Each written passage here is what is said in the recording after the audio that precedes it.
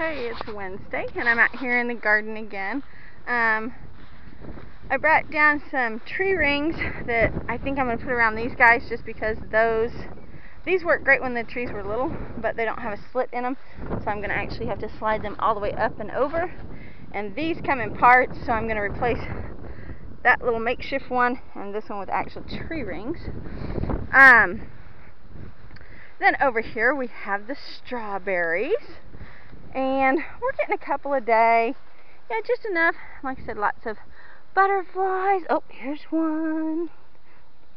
Oh, something nibbled on it, so the pigs will, pig will love it. Anytime they're nibble on, I just save what I can. And then, and if we've let them go too long, see, like that one's starting to get yucky. And this one's starting to get yucky. RJ hasn't been down here to harvest in a couple of days. The pig will love these. So, um, they might not be perfect, but the pig loves them just the same. So we've got this. It hasn't been watered tonight. And we've got lots of butterfly pollinators. I don't know what kind of butterflies those are. But, and the wind is, oh, it's blissful, blissfully wonderful keeping it cool down here. Um, Ashley, one of our interns, has taken this old compost pile that's been growing grass and she went and gathered a bunch of uh, dandelion seeds and just kind of smeared them over and watered them in. So this should be a dandelion garden. Um, dandelions make great herbs. Um, the leaves go in salads. The flowers can be eaten. So, um, yeah. The other day I came out here to teach some kids about the dandelions. There wasn't a dandelion in sight. So we're going to make our own little dandelion garden right there. Should be something I'm good at, right? Because they grow anywhere. Alright, so this is where I'm super excited. Okay, my little tomato plant here is getting huge. I'm going to have to stake it, which I never thought I'd ever have to say that, but it's going to have to either have a tomato cage or a stake or something because it's getting uh, big and beautiful. And it's even got some some little blooms on it, so that means I'm going to have tomatoes, right? I have blooms right there. Yes, see right here. And I have some down in there, so yes. Um, the lilac is got flowers on it. Rosemary, I don't know. I finally just put some dirt in there to soak up all the water. We'll see. I water it a whole lot less.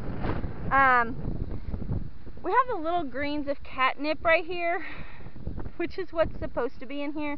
But then we have all these mystery things going on around the edge. Um, these are the bell peppers that I tried to save, so we'll see how they go. And I don't know what that is. Um, I can't remember what we planted in this one that I didn't take. So, another mystery. You like that? I reused too fast then, maybe. I don't know. Um, this is the time. We've got a plant here, plant here, plant there.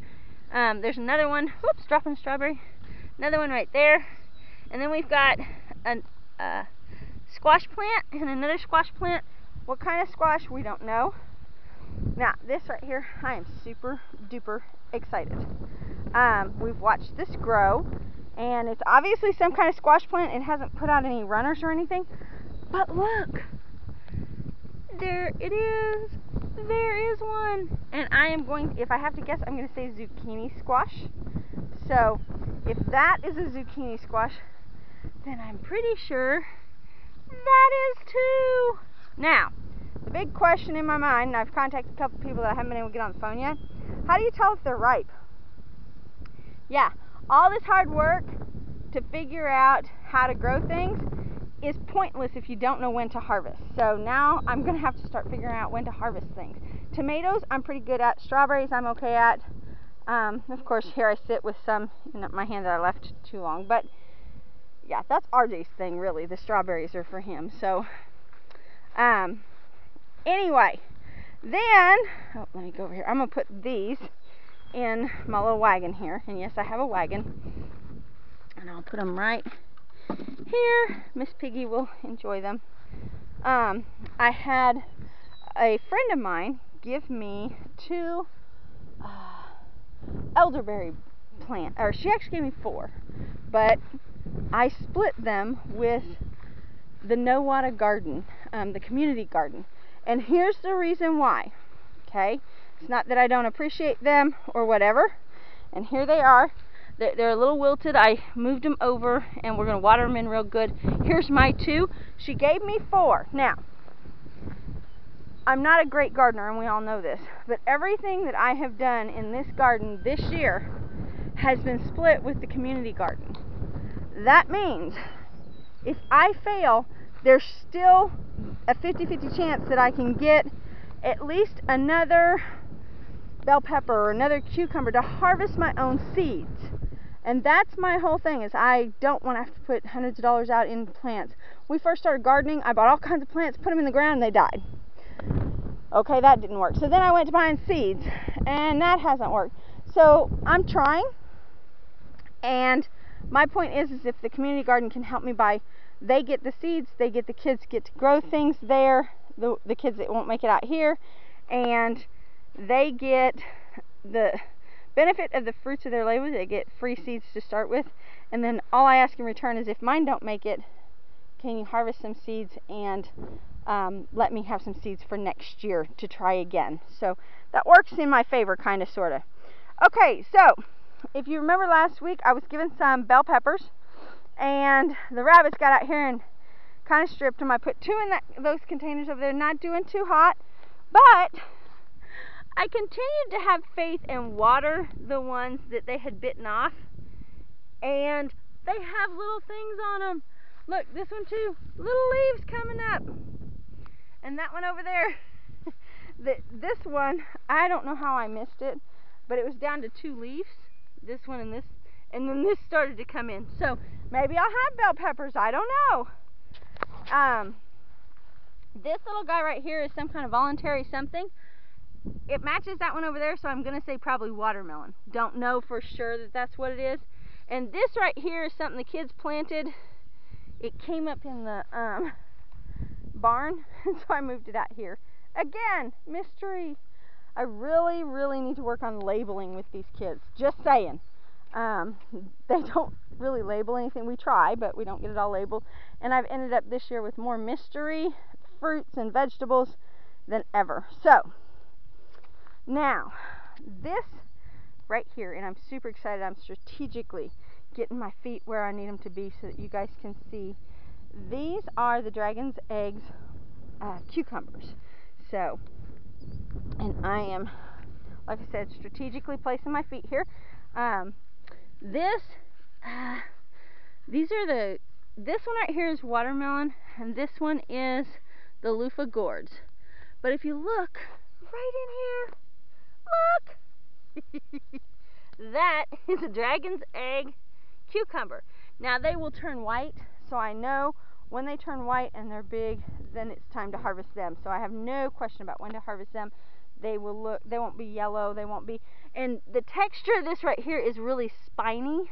So it, I think they told me it would be smooth when it's ready to harvest. So I should be okay with those and there are a ton more blooms. If every bloom on this thing makes a cucumber, oh my word, I'm going to have cucumbers everywhere, which I'm okay with that. If that's all I get, I'm okay with that. Because see, oh wait, there's another one. Ta-da! I'm growing stuff, guys. Yay! Yeah, okay, I'm excited. But anyway, if you look, there's a ton of blooms, a couple of little uh, cucumbers forming. I'm super, super excited about that. Um, very happy. So, then over here, at the same time I was given the bell peppers that were over there, I was given honeydew melons. And if you look, they are growing by leaps and bounds. And we have blooms on them as well. So, I am super excited about that. This guy, I keep stepping on him. I wish it would go that way. But I haven't seen any gourds on any of these um, vines. And this is the loofah gourds that I was going to use at the farmer's market and sell with my soaps. Um, so I'm hoping it, there's no blooms on them. There's no anything. I I don't know how to tell. So pretty much I'm just hit and miss and look for them when I can, if that makes sense. So, alright. Then with my little trek right up here, look at this. Now I did kind of move this guy over. I want this to climb up here. And so I just kind of put the string on this side so that they will vine up this trellis. And the reason we want that is because we're making a teepee. This is our teepee. The kids like to come in and I use the push mower in here and flatten this and then they're covered with whatever. Last year, sorry about the wind. Last year it was the gourds, the um, bird feeder gourds. This year we're hoping that it's the climbing spinach. So, and the funny thing is, oops, sorry, we already have like flowers on it. I don't know if it's supposed to do that until it's big. I don't know. I don't know, I don't know. I'm working on it. So, of course, strawberries, we've had some more come out of here. And there's more blooms down in there too. So, we're getting a ton of strawberries. And this, after this year, will be moved over to that other um, strawberry bed. So, yeah, these are huge plants. They're definitely a little bit older. Um, the basil is starting to take off. Some of them. I say that. Some of them. Now, here's the deal, is I have noticed on this side they're paler and they get more sun than this side over here. So I don't know, I really don't know what they're supposed to be, to be honest with you. There's our little cantaloupe, it's holding on. Our tomatoes up here, I don't know. you like that? That's my answer to a lot of things. Is I don't know. So we keep them watered, keep them going. Um, this thing right here, I'm gonna have to find a better way to do this because it's really the wind is trying to lift it out of there, and because the cucumbers have all grown onto that one side, it could possibly do it. And I don't want it to break the vines, so probably gonna have to stake it down. But look at all these blooms. Now these are not the dragon's eggs cucumbers. This is just regular cucumber cucumbers. And so far, I stick my head in here and I have not seen any actual cucumbers. Um, well, I take that. Maybe, maybe. I see one. Nope, that's part of a leaf. Oh, nope. We have a little one. Looky here. Woohoo! We have a cucumber. A little dinky cucumber, but a cucumber. So, we're getting there. Oh, look! There's another one. They're, they're just small. And I water every morning, so this plant really does get um, quite a bit of water. And it dries out so fast because it's in this tub. So that is one thing that I found that um, the tubs, I'm going to have to watch how much I water because it takes more to do the container gardens.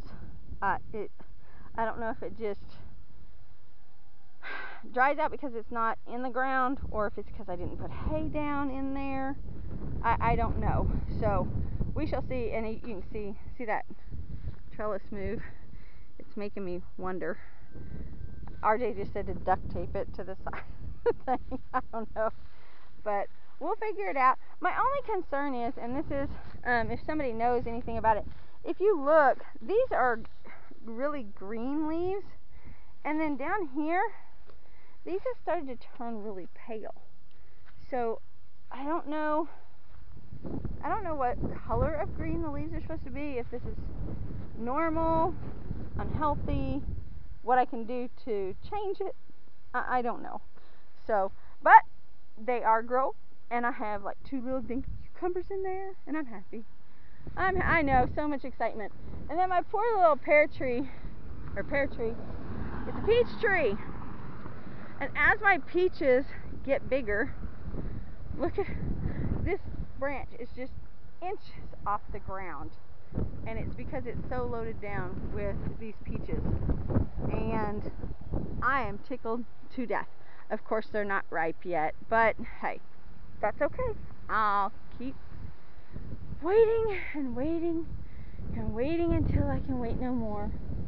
Okay, I'll wait until they're ripe, but anyway, and then up here, if you look, our green apples are definitely starting to get a little bit bigger and they're coming on strong. Little dinky ones, but they'll grow, they'll grow. And even here on this tree that I thought didn't have any, if you look way up there, there are some apples too. So I'm pretty excited about that. And then over here we have a few pears. Look right in here. Not great, but considering the fact these um, fruit trees have not produced before, that's a good thing for us. I mean, we're just happy to have, even if it's just two or three pears, you know. But if you look way up there, there's like five or six that we can see. So I will be after them. And then this February, we will be pruning these things once again. So, and this tree is going to have to be cut way back. It's way out of control and no fruit. So now here's my question to all of you fruit tree, fruit tree people. Does this one not have fruit because that one over there is its same, like these two are red apple trees. These two are pears, those two are green, and those two are peach, and they're across from each other. So is it because that one isn't doing so good and can't pollinate that one? But I don't know that I've ever seen blooms on this one. I don't know. So, um, yeah, if you got any hints on that, let me know. It is huge, and it is going to be cut back quite a bit this next year for the simple fact that I don't want it getting that tall. Um, I'm going to top all these trees. Um, I've talked to the master gardeners and they're pretty sure that I can do it no problem. Shouldn't hurt these at all. But these branches are just so thick through there that I don't think any sun is getting through there either. But on the upside, RJ and I have decided that this spot right here would be perfect for a hammock. It's just amazing. So, alright, that is the update for the garden for this week. Let me know how to find out if my zucchini is uh, ready. Uh-oh, there's my lovely, I don't know what you call it.